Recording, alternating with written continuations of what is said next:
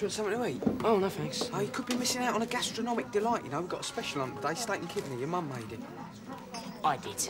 Oh. Oh, why don't you have one anyway? eh? Me and Wicks are in charge for two weeks, so we've got to keep our sales quotas up, you know. No, it's all right. I'm planning a big meal for tonight, all right? Uh, Ian wants you. Oh, um... Hi, Sharon. What do you want? Um, well, I was wondering, are you, um, busy tonight? Not especially, no. Oh, great. So? Well, um, I thought, what with your mum and dad being away, um, I thought, well, I could perhaps cook a meal for us both over at my mum and dad's, and then we could go to a disco afterwards. Okay. You'll come? I just said, didn't I? Oh, um, yeah, well, I'll pick up about seven then. Fair enough. See you later. Yeah, Dasha.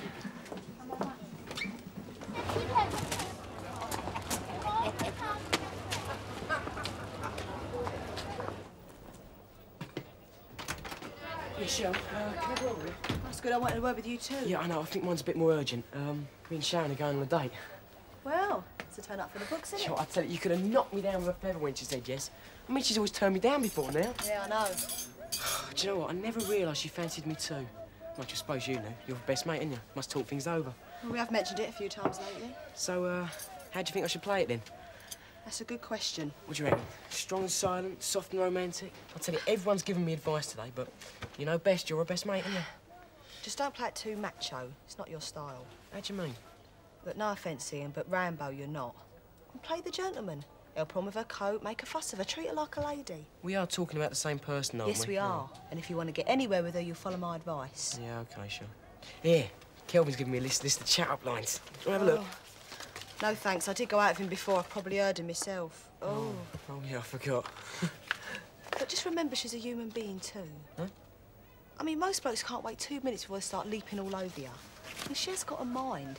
Talk to her, make conversation. Oh, so you don't want to add any more lines to this No, list? I don't no, think didn't think you did. Hello, Mum. Oh, miracles do happen. Dot actually turned up early for once. Hello, love. All right, I've done the spuds. Oh, thanks. You gonna stay and have something to eat with us? Um, no, it's all right. I've got a big meal planned for tonight, thanks. Oh. He's going on a date with Sharon.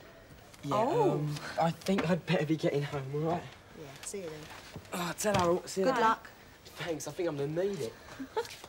Oh, fancy our Ian going on a date.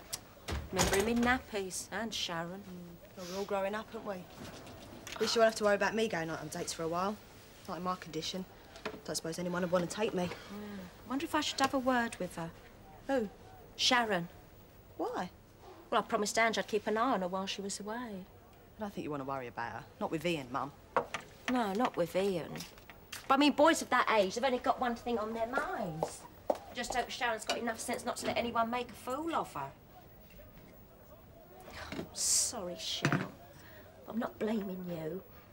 But what I mean is, boys of that age, they do only think of one thing, and well, before you know where you are, you're in too deep. Well, it weren't like that with me, Mum. He wasn't Ian's age. He was older. Quite a bit older. And he didn't make a fool of me. I knew what I was doing.